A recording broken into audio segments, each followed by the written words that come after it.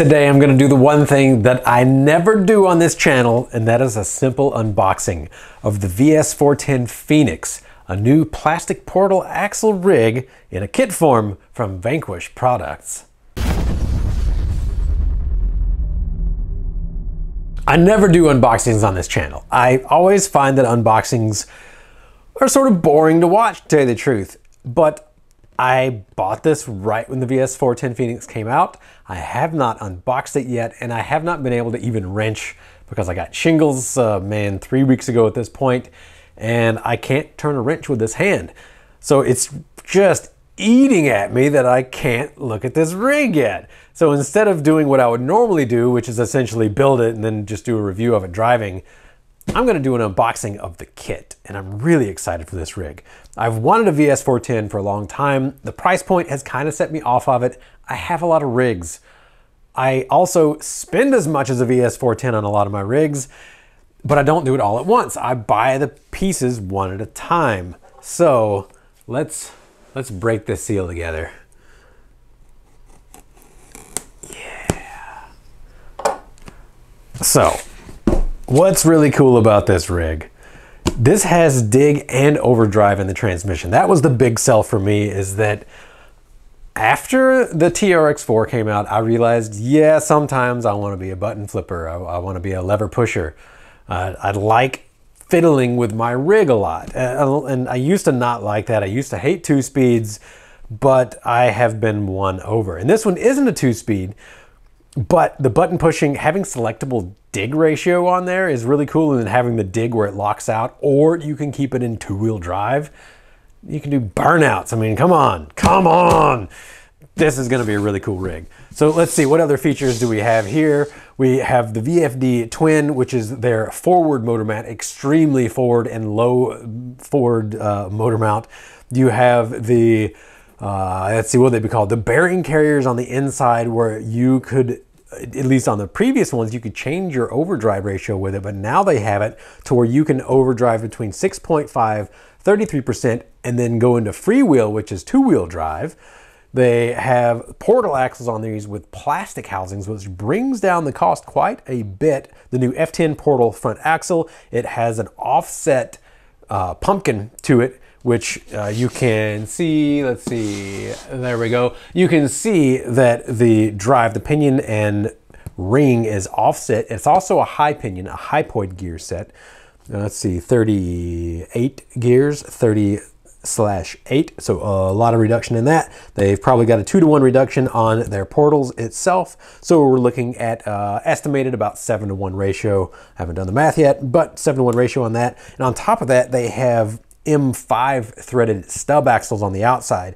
And that is usually the weak point in these rigs. It takes the most amount of torque on that stub axle. And whenever you're rolling down a hill or if you crash, that stub axle takes a whole lot of it because your tires are out there. They're taking the hits as you roll. And so if you bend something, that's actually going to be what bends or ends up shearing off. And yeah, so they went to M5 on there. They upsized to a five millimeter stub.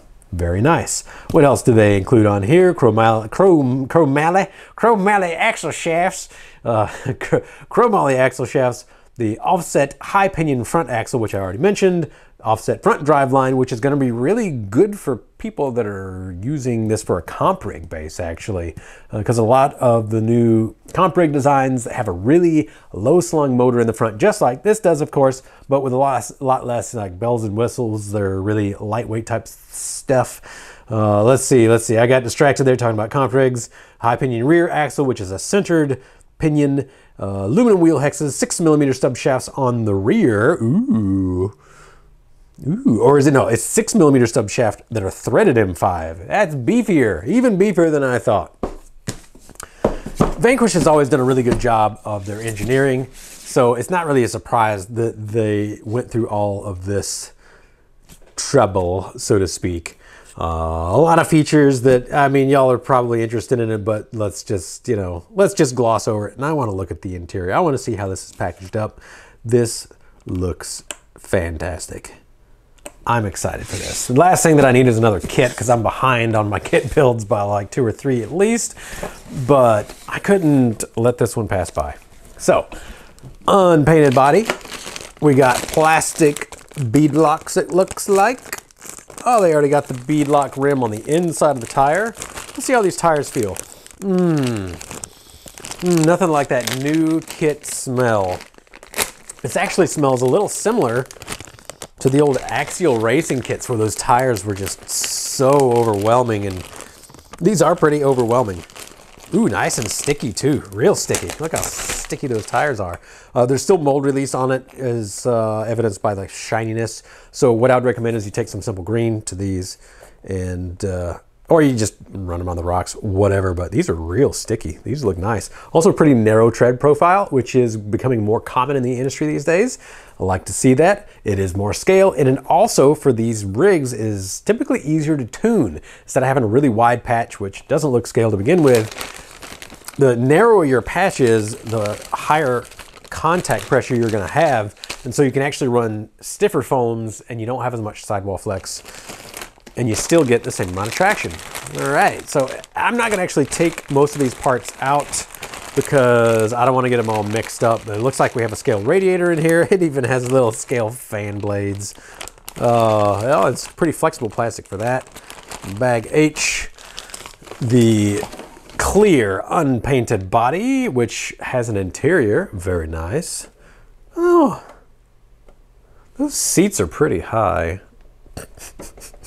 the bottom of the seat comes comes up to like right there. Which they got to do on this because they've got all of this function underneath the body but it is kind of funny. Like you, you couldn't put a driver in there. He would have to be truncated in half uh, but the, the, seat bottoms are like right at the window base. Or maybe that's just because this is shoved up in here for for uh, shipping reasons. Maybe it actually ends up installing much lower. Maybe i'm making some uh, okay it doesn't really install much lower. It's uh, it is what it is.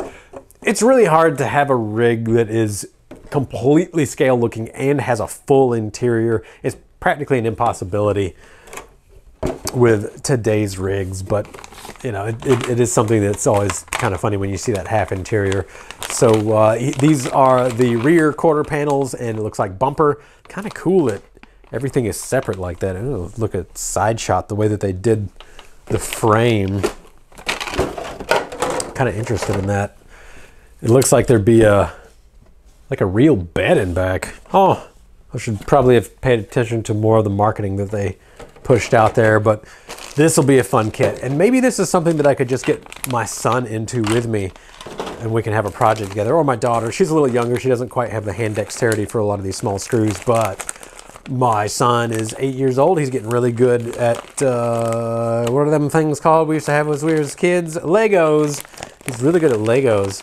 All right, D, it looks like a lot of the screws in here, transmission parts, the uh, sintered gears, it appears, maybe machined teeth on sintered gears.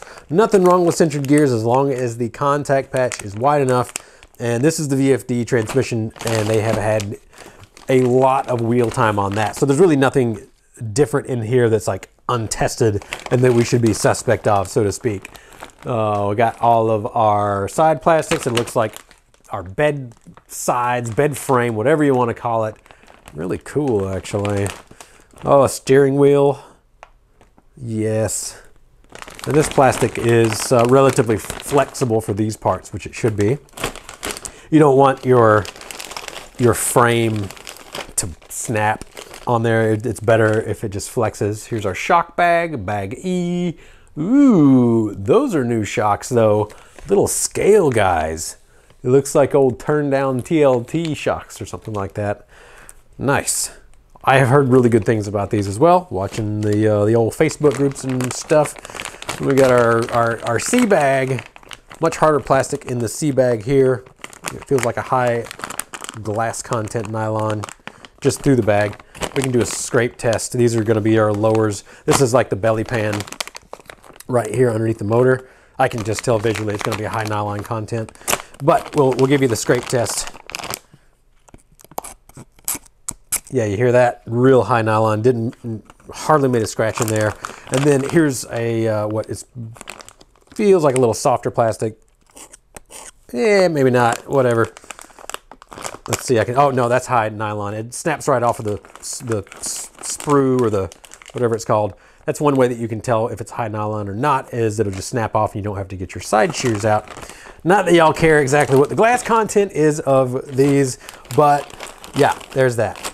Oh, we got all our sliding shafts, plastic sliding shafts. Absolutely nothing wrong with plastic sliding shafts. In fact, I prefer that in a lot of my rigs because when the plastic twists, it's easy to replace, it's easy to get to, and you don't have to worry about opening up your transmission or your axles when you have a break. So kind of like those plastic sliding shafts. No reason to replace them with metal unless everything else is beefed up and maybe you're in a competition and you don't want a chance of twisting those too. So then you snap a ring and pinion instead. So know, if you're gonna if you're gonna go out, then you go out big.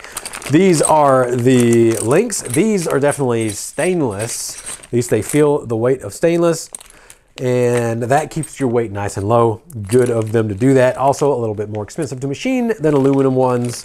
So they're not skimping out on this kit. This is a really high quality kit. Also has their own rod ends at this point, it looks like. I would be interested if the width of these balls are of the axial standard or the Traxxas standard. They look a little bit wider, so I'm, going to assume that it's the uh, newer axial standard that they made the width from. Here is our frame. It is an actual C-channel. Harley Designs would never allow us to have a Vanquish kit that was a machined, essentially TVP, but these are stamped rails, and I'm going to assume that they are steel, just based off the weight and the flexibility. Yeah, these are definitely steel stamped C channels. They look good. Ooh, these have some features in them too. Probably they have them on all the VS410s, but it's not just a 2D rail. It actually has some has some three-dimensional stamped features in it, which is really cool. And are they, oh yeah, it's even, it's got a little shape, they're shapely. These are shapely ax axles. These aren't axles. shapely rails, chassis. All right, all right, that's enough time looking at those. Last but not least, we have our axle bags, A and B, what we should have looked at first. All right, so these are definitely machined. These are not sintered but these are machine parts. they got lightweight holes in them too. Uh, and it looks like they got these brass inserts, which I have read are a little bit loose on there, but these are to prevent overflexing. They also add weight to the axle, but these prevent overflexing of your housing, which is when you have breaks, especially on a high nylon content axle. So I'm sure you're probably going to see or have seen people you know, kind of poo-pooing these because they're not a really tight fit into the axle, but these will still prevent breaks all the same as one that is tight in the housing. May actually be better at preventing breaks because you get a little bit of flex, but you don't get enough flex to where you have the break and it transfers the load onto that piece. If it is too tight into the housing, then what you'll have is a stress riser that arises from the very end of it because you don't get any flex in the housing and all of the load is actually put on the tip of that insert inside the housing. So if it was, uh, you know, let's let's say inserted to where I'll just pull this out of the package. I know where this this one's going to go. Back into bag A. And maybe I'll just test it out. And then we'll call it good. And I, I will move on with my day. So we're going to take out our plastic housing. Ooh, that feels good too. That is some hard plastic and it looks pretty beefy as well. Like they they integrated enough features into it, so to speak. You know, this entire top of the housing is just beefed up, and it doesn't have any uh, hard corners, no sharp radiuses, nothing like that. It's kind of an even transition. What are these called? Uh, y'all full size guys will know trusses or something like that, I think. But the truss is integrated into it and it has no sharp bends to it. There's no places where you would have a force kind of radiating through that would cause an issue. So really, I mean, for a injection molded housing, that looks good. That's uh, and that's why I got it. I, I know the quality that Vanquish is going to put out at this point. So, and yet they still impress me when I get the kit in hand. All right, so here's these uh, brass inserts. This is not only for weight, but also to help us avoid breakage potentially. So it is a little loose. Of course, it's not inserted all the way either. I'm assuming that it's probably going to be a little tighter down in here and then it'll have a little bit of play on the outside. And there's going to be a little bit of flex in the housing this way and you don't just have two hard points. Yeah, yeah. Okay, so it is actually a press fit. All the uh, grumblings online of them being loose is it being loose just slightly on the outside, but that's a nice press fit on the inside, which gives it support. It also is right up against that bearing pocket, so you're gonna have a lot of stress distribution through this entire part of the plastic, and then you'll have a little bit of flex in the plastic, which, I mean, you're gonna have to be bashing it hard to get flex in the housing like that, but there is a little bit of flex in the housing and then that tube contacts the outside. So you're not gonna get a break anywhere in between. There's way too much material. Actually, it's on the inside of that part right there. So yeah, yeah. I don't think there's gonna be any problem with that. There, were, there was definitely some grumblings about those, but I'm not worried at all. That looks good. Oh yeah, there, I can even see on this side, there's a stepped recess that accepts that brass insert. So, yep.